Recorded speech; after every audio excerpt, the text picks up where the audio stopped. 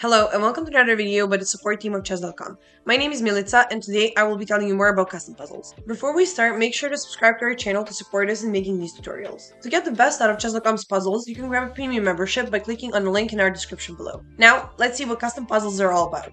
When you click on puzzles in the left menu, you will see a custom puzzle section at the bottom. Custom puzzles can be key to your improvement in chess. You can track your progress across different puzzle themes, manually adjust the difficulty of the puzzles, as well as redo puzzles you have already failed to pass. In the top menu, you can choose what area you want to focus on. You can choose to go through all the puzzles or only the ones you failed before, as well as set the exact rating range for the puzzles you want to solve.